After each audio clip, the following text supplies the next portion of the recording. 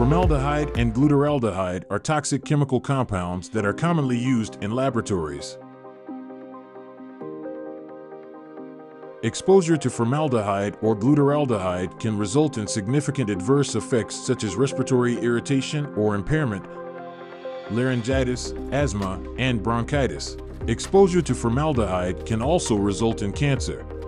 The effects of formaldehyde exposure prompted the Occupational Safety and Health Administration to adopt the Formaldehyde Standard 29 CFR 1910.1048 to minimize occupational exposure to formaldehyde.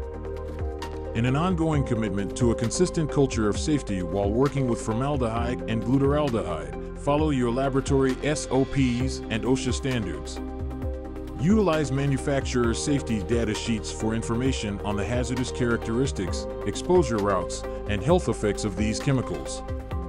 Follow your laboratory's comprehensive risk management plan. Apply protective measures to prevent exposures. Follow your laboratory's response procedures for incidents. Participate in training and report concerns to your supervisor.